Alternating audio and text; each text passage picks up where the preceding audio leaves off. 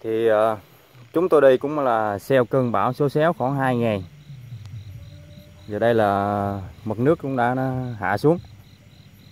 Thì clip này tôi đăng lên thì khoảng là một tháng hoặc là hơn một tháng xeo vì là ờ, thật sự mà nói thì tôi cũng còn nhiều việc. Thứ nhất thứ hai nữa là chưa chắc youtube nó đã nuôi sống bản thân tôi và gia đình mà mà mình cứ ờ, bám theo.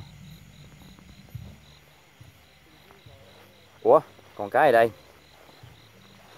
À còn đây là dụng cụ câu cá của các cần thủ. Cái này để trùng. Còn cái này để ờ, gác cái cần lên.